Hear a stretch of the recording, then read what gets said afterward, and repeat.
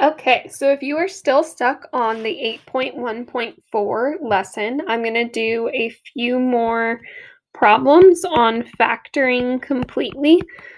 Um, so remember, what that means is before we start doing our box, we are going to look to see if there's anything that we can actually take out. So we're going to go ahead and look at 5x squared plus 15x minus 20. So when you look at any binomial, trinomial, whatever you're factoring, step one is can I take out a greatest common factor? And we want to look at all three terms. What they all have in common is a 5. So if I take out a 5, then you can think of it as 5 times what would give us 5x squared. I would have x squared left 5 times what would give us 15x? It would be 3x. And 5 times what would give us negative 20 would be negative 4. All right, so from there, you're going to take that trinomial and place it in the box. So the first term, x squared, goes in the first box. The last term, negative 4, goes in the last box. And then you can make your diamond.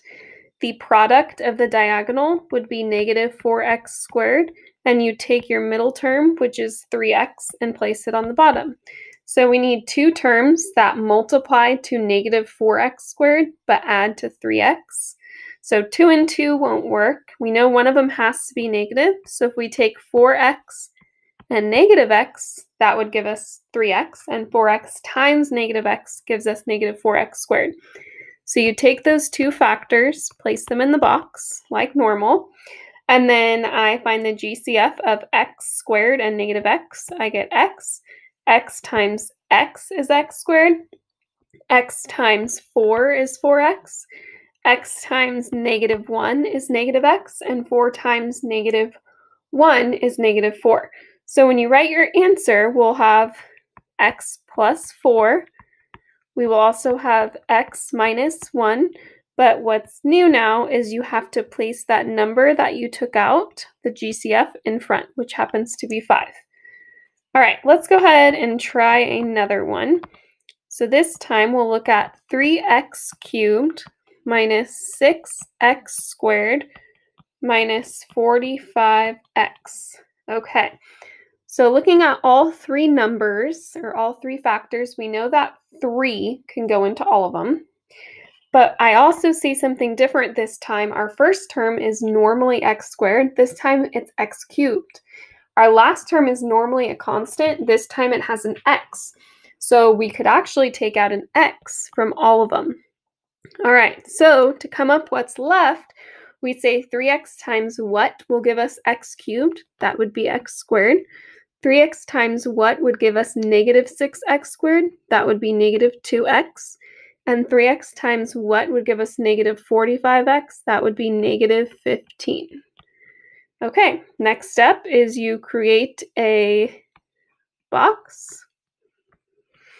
Okay, and then we know that x squared goes in the first box, negative 15 goes in the last box.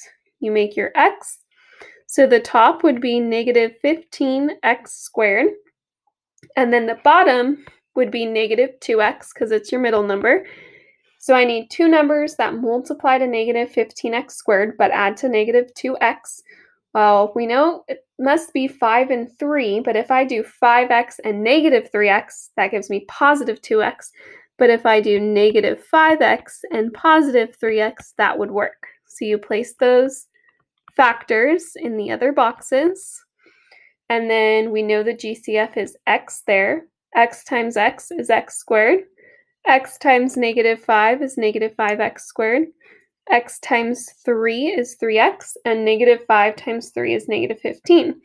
So we write our factors, which are x minus 5,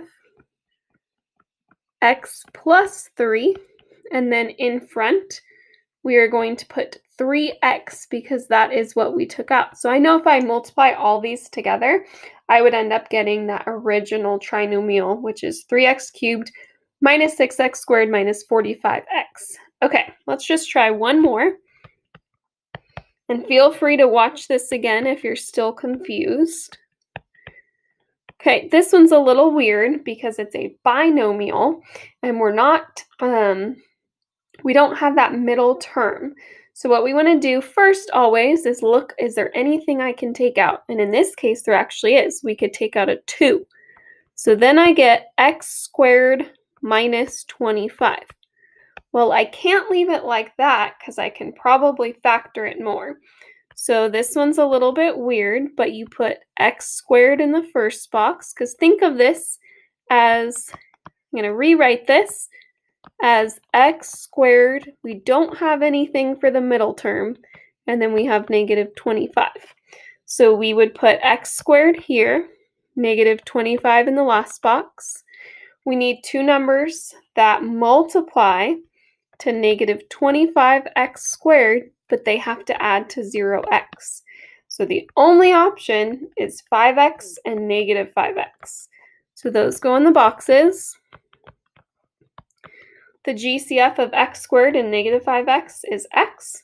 x times x is x squared. x times 5 is 5x.